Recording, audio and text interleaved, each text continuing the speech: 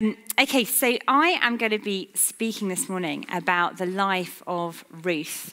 Um, and I'm really excited about this because this is one of my favourite characters from the Bible. So, um, yeah, I'm going to um, be talking about a journey that Ruth makes because the story of Ruth is all structured around this journey um, from Bethlehem to Moab, and then from a field to a threshing floor.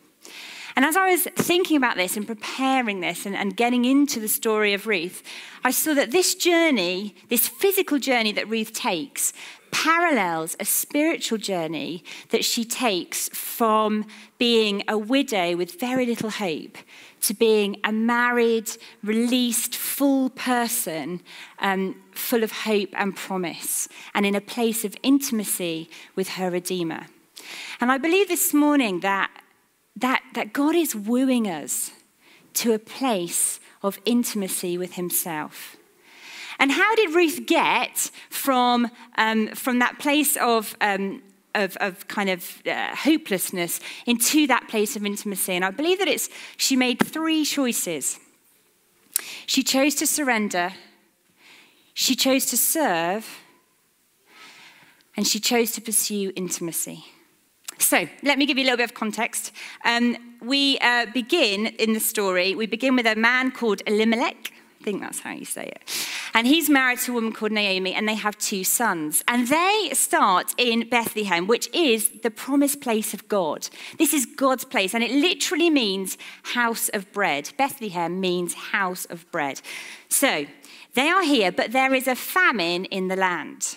There is a famine in the house of bread, in the place of promise. And so, what Elimelech does is he moves with his family, he moves to Moab, which is a Gentile nation.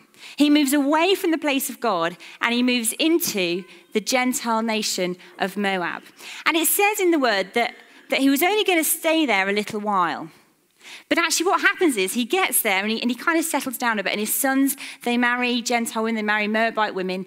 And, um, and it's obviously a lot of time goes by because he, he then dies and his sons die, and it leaves Naomi with two daughters in law, Orpah and Ruth. And what happens then is Ruth, uh, Naomi hears that actually back in Bethlehem there is now a harvest. So she says to her daughter in law, let's go back and let's, and let's, let's, let's settle again in Bethlehem. So they make this, they start to make this journey, but on the way, she says to her daughter-in-law, do you know what? No, actually don't come with me. You need to go back because these, these girls, they're Moabite women. They're not Israelites. They're not not gonna find much hope in Bethlehem in, in, in God's land, that they need to stay because this is the place where potentially if they went back to their families, then, then they might be okay. And so Orpah says, says Yeah, actually, I'm going to stay, I'm going to get, get remarried, I'm going to do that. But Ruth says, No, no, no, I'm coming with you. Whatever it takes, I'm, I'm coming. And, um, and so I want to talk, first of all, about this choice to surrender, which begins this journey of intimacy. And I want to say to you when there's a famine in your place of promise, are you tempted to move out of that place and sort it out for yourself and take control and move away from that place where God is? And just to tell you a little bit of this from my own, from my own life, I am um, about six years ago, David and I, we felt called to move to Malawi. And, um, and just before just before we went, we were um, going through some kind of medical stuff, and, and, we found out that actually I was going to struggle to have children. And, uh, and, we, um, and, and, and we'd really known that God was calling us to go to Malawi, but I sat in the doctor's office and he said to me, Do you know, uh, the wisest thing for you to do would be to settle down and to um, and start trying for kids now because it's gonna the, the longer you leave it the, the less likely it is that you're going to have children and, uh, and I remember thinking, goodness gracious me, what, what am I going to do? My heart, I just so wanted to be a mom, but I so knew that God was calling us to go. And we'd already left our jobs at that point when we found this out. So it was all a bit um, up in the air and a bit crazy. And, I, and, and, and the temptation was for me to leave that place of promise and to take things in my own hands and say, No, actually, I'm not going to do that, Lord, because, because this is so what I want, and I don't know where you've gone in this. And I think sometimes when famine hits, we can lose our vision and we don't know where he is. And it seems like he's not hearing our prayers. And so what, our, what we begin to do is we, we take control and we go and sort ourselves out. And it might be that you just you still know you know he exists and you still love him but but you just shut down to intimacy and you move out of that place and you just come and you say, just for a little while, Lord, I'm, I can't do this to that level anymore. I'm just going to stay here a little while. But you know what happens is something inside you begins to die. There's no life when we take control and begin to try and build our own kingdom. Something inside us begins to die. And you see what Ruth was doing. She, she actually, she was in a place when she chose to go with Naomi, and she says that, I'm going to read this because it's one of my favorite parts of scripture. Where you go, I will go. Where you stay, I will stay. Your people will be my people. Your God will be my God. Where you die, I will die, and there I will be buried. She commits to Naomi, even though she has no idea what is going to happen when she leaves. She's a Moabite widow. What hope has she got going with another widow to this place where there's potentially a harvest? But she goes. And why does she go? Why does she choose to surrender? Because she's got her eyes set on something bigger than what she can see. There's something about Naomi's God, there's something about Naomi that draws her and I want to remind you that we are people of faith. We are people who live by faith and not by sight. And Jesus calls us to walk by faith. And where, where we have been given promises from Him, where there are things that you know in your heart you are called to, and you know that you've moved out of that a little bit because of stuff that's happened that you're not that happy about, I want to encourage you get back to that place of promise and let Him speak to you in that place. Even if it doesn't all come right for, for another period of time, that's where He is, and that's where peace is. And so the first choice that Naomi made, and sorry, Ruth made, is that she chose to surrender. Surrender her control of the situation, and she surrendered to the God of Naomi, and she moved to the place of promise. Okay, so now hopefully under here, are the next. Okay, so we've got threshing floor and we've got the field. Okay, so the next part of the story is that uh, Naomi and Ruth, they move to Bethlehem, here, and, um, and when they get there, uh, Ruth goes out into the field and she begins to gather gleanings, so the stuff of the corn that's left behind, she gathers it up in order to feed herself and Naomi. So it says, Ruth, uh, Ruth the Moabite said to Naomi, Let me go to the fields and pick the leftover grain behind anyone else in whose eyes I find favor. Naomi said to her, Go ahead, my daughter. So she went out, entered a field, and began to glean behind the harvesters. As it turned out, she was working in a field belonging to Boaz, who was from the clan of Elimelech. So, Ruth gets to the place of promise with Naomi. She gets to God's land. There is a harvest there, so that's great. But instead of sitting there and waiting for stuff to happen, she gets out into the field and she begins to gather. This is a, this is a lady who is, she is choosing to serve. She is choosing to give her life for Naomi, to gather, to go out there, to take that risk. I just want to remind you, she's a Moabite widow. Okay, this is a dangerous thing for her to do, actually. She's going into a field where she's not going to be, um, she's not going to be liked that much, but she's, get, she's taking the risk to serve Naomi.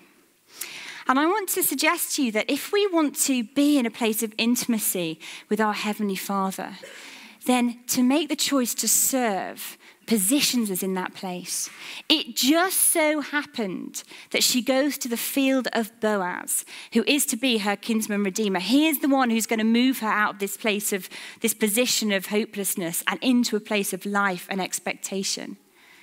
It just so happens that when she chose to serve, she was in the place of blessing. And I want to encourage us today. There are some of you who feel disconnected from God at the moment. And actually, you are uh, you know that there's stuff in your life, and you, and you want Him to bless it, and you want to you want to do stuff for Him, you want to live for Him, but it's not happening.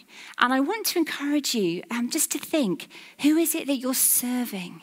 We are called to be people who serve others. You know, Jesus himself exemplified this. He came to earth as a man and he gave himself up for us. And he, you know, that, that, that amazing story where he washes the feet of the disciples and he says, Go and do likewise. You know, we are called to serve others. And, and, you know, we will feel disconnected if we're so preoccupied with building our own kingdoms that we lose something of the intimacy with God in that place of serving. Okay. So, living for ourselves moves us out of the place of encounter and blessing as we seek to build our own kingdoms.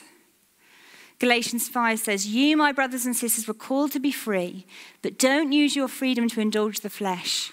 Rather, serve one another humbly in love. Each of you should use whatever gift you have received, this is 1 Peter 4:10, to serve others as faithful stewards of God's grace in its various forms. Are you committed to serving God, no matter how menial the task? And you know what? As a mum, sometimes I really struggle with this, if I'm completely honest. There are days when I've done the same thing again and again and again that I think, do you know what university I went to? Do you know what degree I have or what job I did? No, because they are only three and one. But I can feel that what is this that I'm doing? But do you know what? This is my place of serving. This is my place of intimacy. This is my place of blessing and promise that God has called me to. This is where I connect with Him and He can change me and transform me to be kingdom to my children and to the people around me. So, whatever you're doing, whatever, wherever you're living at the moment, whatever it is that you're doing, if it feels menial and you, do you think this isn't it, maybe it is. Because maybe this is Boaz's field for you. Okay, so choosing to surrender, choosing to serve, and finally, choosing to pursue intimacy. She moves from the field to the threshing floor. So Boaz, and I like this bit. Boaz, um, he, he sees that Ruth is in the field. He, he, rec- he sees her, he recognizes her um, as being, she stands out to him, let's put it that way. And, um, and so he says, uh, it says here, as she got up to glean, Boaz gave orders to his men let her gather among the sheaves and don't reprimand her. Even pull out some of the stalks for her from the bundles and leave them for her to pick up.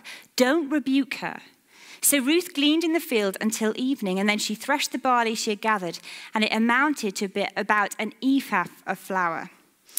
So, so, so Boaz begins to get the workers to leave gleanings for Ruth. He's seen her. Her serving draws his attention to her. And he begins to, to lead these gleanings. And um, I believe this morning that that, that, there, that God, He's leaving gleanings for some of us. And I want to say, are you seeing the gleanings that He's leaving? You see, some of us actually, we do do serving really well. In fact, we, we spend our lives serving. We know whose field it is we're working in, and we are out there every day doing it for God, serving people. But actually, we, we're feeling that disconnect. And we're feeling the disconnect because God wants more than just us serving Him. He is wooing us into a place of intimacy. And some of us, we need to recognize the gleanings that He's leaving. Maybe it's just, um, maybe it's a beautiful sunset and you see it and it draws your heart to God. Or maybe it's an encouraging word that somebody speaks to you. Are you listening out for his gleanings that are drawing you in to be near to him? Okay.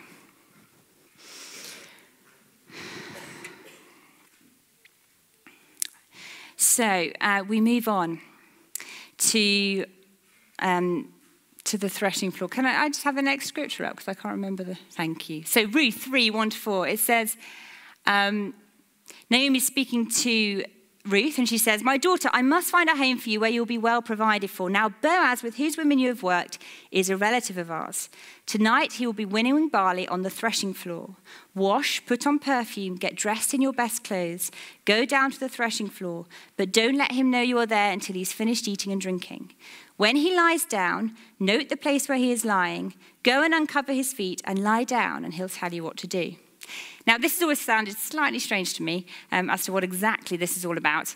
Um, but we'll go with it, okay? Because it's got, it's got some uh, context to it, but I'm not going to go there right now. But this is what I believe.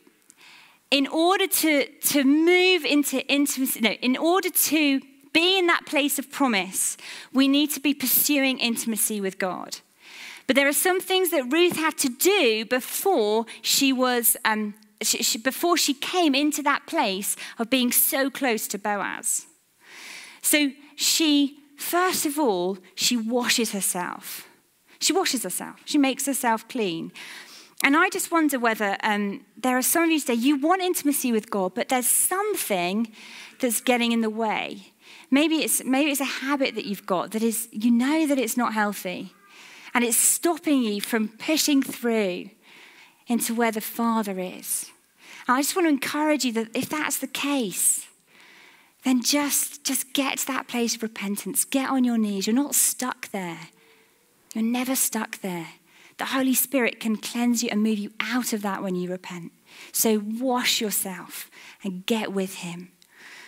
Uh, the next thing is she changes her clothes. Remember, she's a Moabite widow. She's got widow's attire on. Okay. And she changes her clothes, and, Naomi says, Put on your best clothes.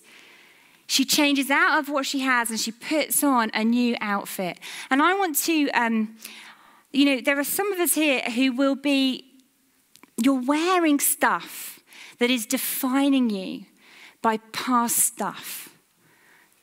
Okay, so she, she was a widow, and what she wore was defining her as a widow. But in order to move forward into that place of being a bride of Boaz, she needed to change what she was wearing.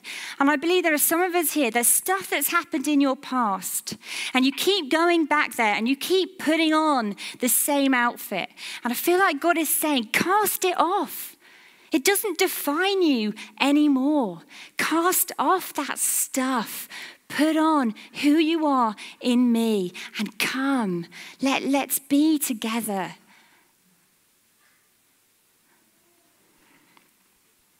Changing your clothes. Do you know, there's a really significant point actually um, that really struck me as I was reading this. All the way through this story, Ruth is defined as the Moabite or the Moabitess. But when she's at the feet of Boaz, she speaks to him and she describes herself as his handmaiden. Already in his presence, the definition of herself has changed. She's moved from being the Moabitess to being his handmaiden. Those thoughts in your head that go round and round, they don't define you. What he says about you defines who you are. And in that place, that's where you walk in freedom. And if you need to hear afresh what he is saying of you, if you need his help to get off the stuff that you've been carrying and to change your clothes, then he is here today to say, Come on, I've got an outfit for you. You can come and be mine. You come and hear what I'm saying of who you are.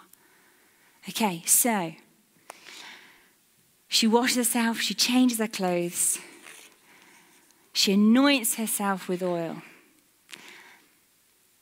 I believe that this is to do with worship. Where else in Scripture do we hear, this is a rhetorical question, where else in Scripture do we hear about perfume and someone anointing with perfume? It's Mary Magdalene pouring the, feet, the, the, the perfume over Jesus' feet. And there's something about our worship that that draws us into intimacy with God and, and is a perfume to Him. Now, I believe that, you know, when, when, when Ruth put this, anointed herself with, with the oils or the perfumes or whatever it was, and laid at, Boaz, at Boaz's feet, when she left the next morning, I bet there was a scent of her perfume still lingering. And you know what? When we get our, ourselves into that place of just worshiping Him, then it's like a fragrance that goes up to heaven and it lingers. And, and, and I believe that it's so pleasing to the Father when we worship. But what happens as well is that His Holy Spirit comes down onto us, and it's like a perfume, it's like a fragrance that rests on us. So when we go out, He's anointed us with His perfume, and it affects and influences those that we, we move with and are with in our day to day. So I want to encourage you to anoint yourself with the perfume of worship and let His fragrance come onto you to move into that place of intimacy. And lastly, she positions herself at his feet. She lays herself down at the feet of Boaz. She makes herself completely vulnerable. And you know what he does? When she's in that place, it says that he puts his blanket over her. Now, the blanket going over her, that was a symbol of him saying, I'm going to protect you, I'm going to provide for you, I'm going to be your kinsman redeemer, I'm going to be the one who redeems you, who pulls you out of the place that you are and brings you alongside me. And I want to encourage you this morning. Are you willing to lay yourself at the feet of your Redeemer?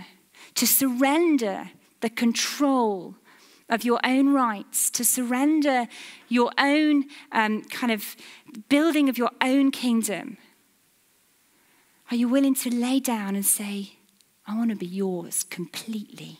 Every part of who I am is yours. And to be in that vulnerable place and then to hear him say, Good. Because do you know what? I'm going to provide for you. I'm going to protect you. I'm going to release you. I'm going to raise you up to walk and be alongside me. Because what we can do in Him is so much greater than what we can do on our own. Let's live by faith and not by sight. Let's see what the Father can do as we surrender ourselves to Him. So, if we want to get to the place of promise, to the place of intimacy, to see God working in our lives, we need to choose to surrender. We need to choose to serve. And we need to choose to pursue intimacy with our Father. I'm going to ask you to stand.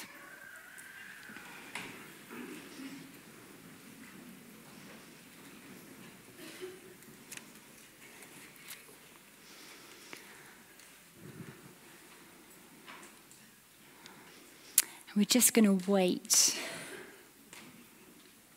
a moment.